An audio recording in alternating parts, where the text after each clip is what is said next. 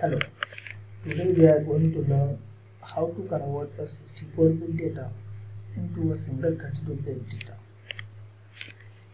So as you know our PLC can process a maximum of 32-bit double word data. But there are some devices like energy meter which gives readings in a 64-bit data. Actually there is a decimal point in that data but it is not represented in that number.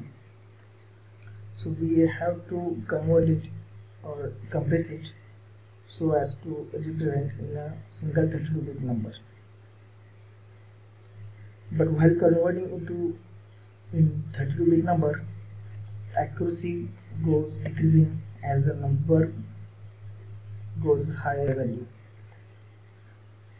So let's start. I have done programming for that already I will just explain it how it works.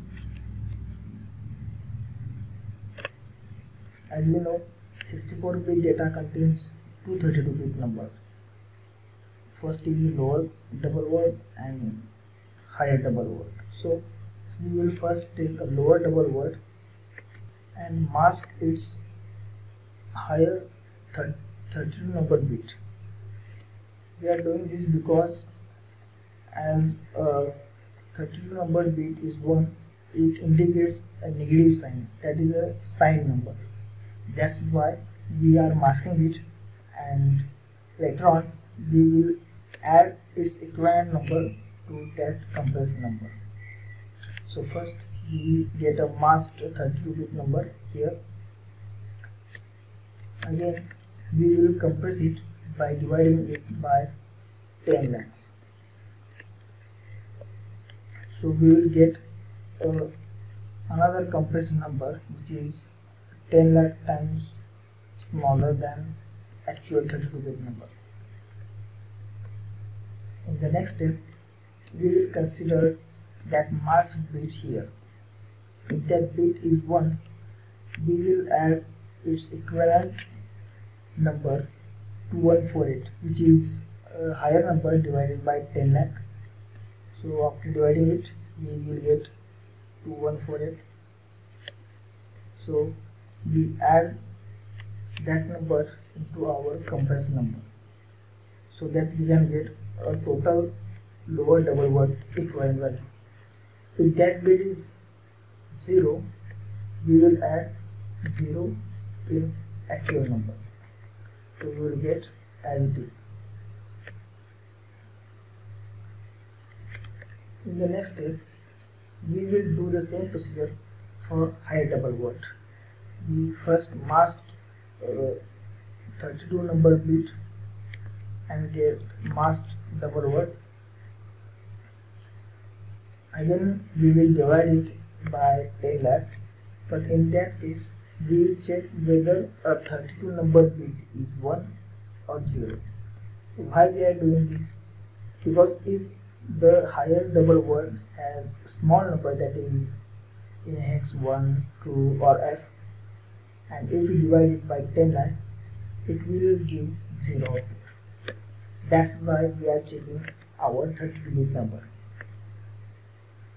So if it is 1 we will divide it by 10 lakh, if it is 0 we will pass it as it is. Again we check 32 number bit.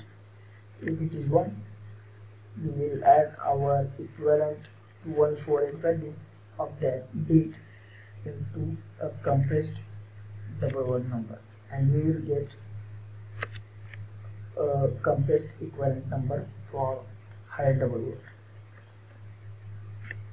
If it is 0 we will add 0 in that. Now the next is we will multiply that higher double word by 4 to 95. Why we are doing this? Because this double word is at higher side of 64 bit number. So our first digit of a higher double word is coming to picture after a lower 32 bit number get over means we have to multiply by our equivalent lower double word value means higher highest value to get a equivalent higher double word value.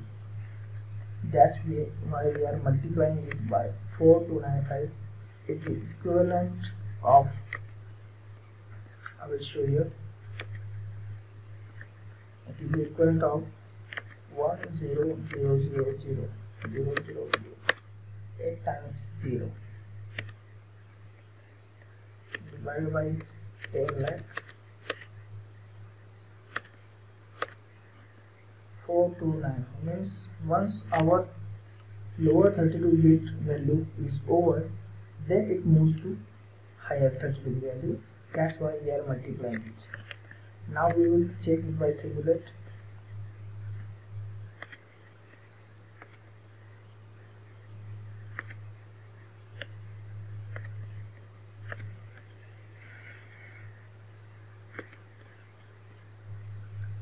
our lower double word and this is higher double word suppose in lower double word we have a value and in higher double word we have 2 in hex now it will give 8895 now we will cross check it.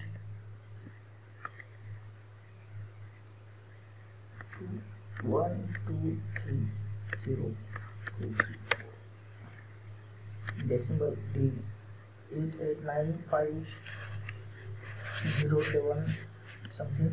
If you divide it, it by 10 lakh you will get 8895 which is correct. Now suppose we have here 8 then we will get 34665 now if we look at this one, two, three, zero, one, two, three, four.